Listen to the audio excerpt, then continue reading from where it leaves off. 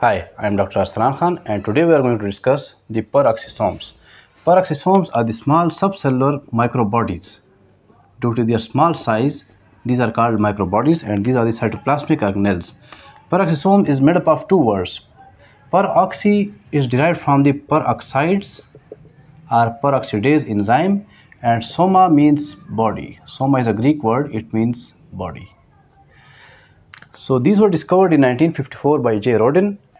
Peroxisome may be defined as the small vesicles, single membrane bounded cytoplasmic organelles containing oxidase enzymes.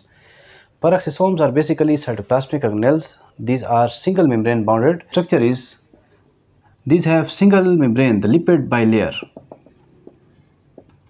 in which there is a crystallite core containing the peroxidase enzymes. So the peroxidase enzymes are basically present in the crystallite core of the peroxisomes.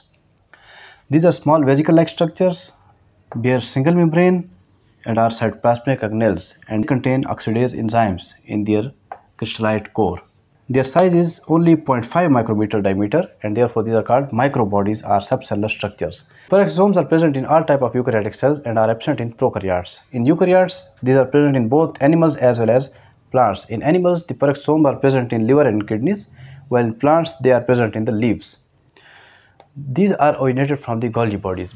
Basically, endoplasmic reticulum produce or synthesize the enzymes, the peroxidases, and the Golgi bodies package and store these enzymes in the form of vesicles. And then at a time of need, when these vesicles are built off the Golgi bodies, these give rise to the peroxisome. So these are originated from the Golgi bodies. The function of the peroxisome is usually concerned with the metabolism.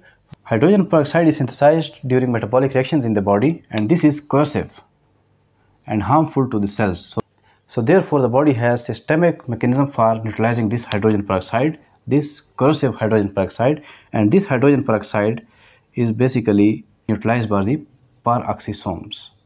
Peroxisome release the enzyme peroxidase and these peroxidase enzyme break down this hydrogen peroxide into water and oxygen. Hydrogen peroxide was harmful substance which is duly neutralized by the peroxisome using peroxidase enzymes and two harmless or useful substances are synthesized in the cell. So this is the primary function of peroxisome in the animal cell. While in plant cell it is involved in the photorespiration.